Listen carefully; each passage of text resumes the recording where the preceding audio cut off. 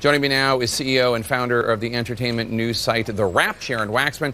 Uh, Sharon, thanks so much for joining us. These accusations span over his career. I guess uh, it's an open secret in Hollywood. How did he get away with it for so long? Well, I think uh, Hollywood has had a very permissive culture for a long time.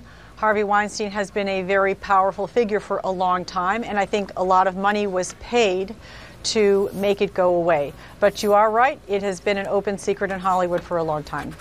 What do we know about the other women accusing him? Well, I think the one that's most remarkable is this woman, Lauren Collins, who's writ- who wrote this memo. Um, I, I, will point out, first of all, that I have known Harvey for a very long time.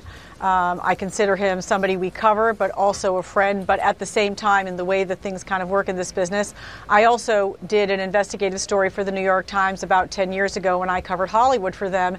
And the story basically got killed. But it was many of the same kinds of things that I discovered uh, in my reporting in Rome, in London. Um, and it ended up being turning a, a different way, and a lot of pressure was applied to not let that story appear. And you know, a lot of a lot of money had been paid over the years, and there are non-disclosure agreements with the women who were involved. So we don't really know a lot of the details. But when you have an, uh, an employer, a former employee who who goes on the record and writes a memo and says, This happened to me, or this happened to my colleagues, and this is not something that's acceptable, um, that's a much more uh, substantive accusation the other thing that's going on is that the culture has changed, and the culture is not as accepting. Um, except, I guess, in the case of our president, who got elected despite going on going uh, on, on uh, audio and saying that he grabs women's private parts.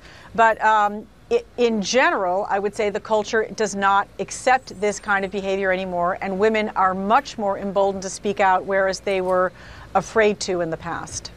This is obviously a man who presented himself as a, a progressive champion uh, of women, uh, not the first progressive to be accused of not. Uh, not walking the talk uh, when it came to respect uh, for women, uh, but really a glaring hypocrisy.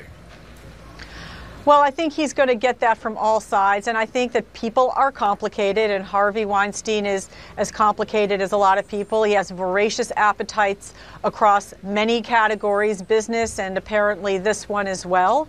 And, you know, he has a beautiful and wonderful wife in Georgina Chapman, who's uh, not only gorgeous but an accomplished uh, businesswoman on her own. So it's complicated. I think that him owning up to it finally and taking a leave of absence and saying, recognizing I need to fix my behavior uh, is significant.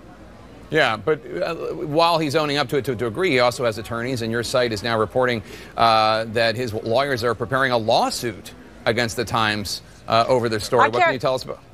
Yeah, well, that's Charles Harder who took down Gawker because he has a problem with the First Amendment, and generally, uh, Harvey Weinstein has is very vocally in favor of the First Amendment. I'm not sure. I am not a lawyer, but I don't know how you sue when he's actually admitted in his apology that I behaved badly and I'm going to go get help for it. So I'm not sure what they're going to sue him over, and I doubt that goes anywhere. All right, Sharon Waxman, thank you so much. Always good to have you on the show. Good to see you. Yeah, thanks to see you.